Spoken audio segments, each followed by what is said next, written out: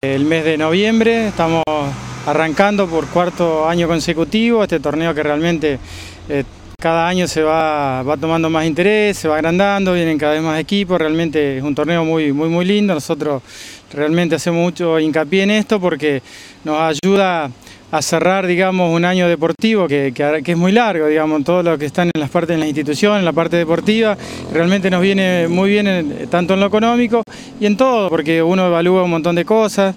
Vienen generalmente San Carlos Sur, San Carlos Norte, San Agustín, Galvez, eh, San Jerónimo, Santa Clara, de López, eh, de Hessler, no me quiero olvidar de San Jerónimo del Sauce, eh, no me quiero olvidar de ninguna, pero esas son las localidades. Entonces, son seis niveles. La categoría 98, 99 y 2000 son libres. ¿Qué quiere decir libre? Que las localidades, las de acá del pueblo pueden buscar chicos de cualquier, de cualquier lado, no es por barrio.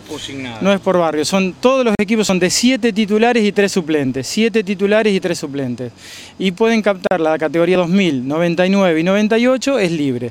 La categoría 2001 y 2002 van juntas, la 2003 y 2004 van juntas y la 2005 y la 2006 que son los más chiquititos que también van juntas. Que también vienen de afuera esa categoría, vienen de las localidades vecinas, vienen de todas.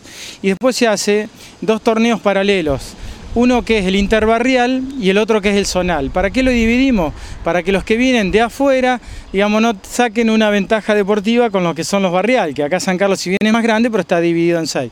Después se saca un campeón, por ejemplo, por decirte, de la categoría 2001-2002, un campeón de San Carlos Centro, de los barrios, y otro interzonal, que viene de afuera. Y después se hace una copa, con, una copa desafío que le llamamos, que es para ver quién gana de los dos, digamos, pero ya cada, cada uno es campeón de su categoría, uno por las localidades vecinas y otro por las localidades, por los barrios de acá de San Carlos Centro. La inscripción es un costo de 180 pesos y la inscripción cierra el día 17, eh, a las 17, el, día, el día 17 a las 21 horas ahí en el quincho de Central, en el quincho del club, lo vamos a recibir, va a haber un ágape para todos los técnicos.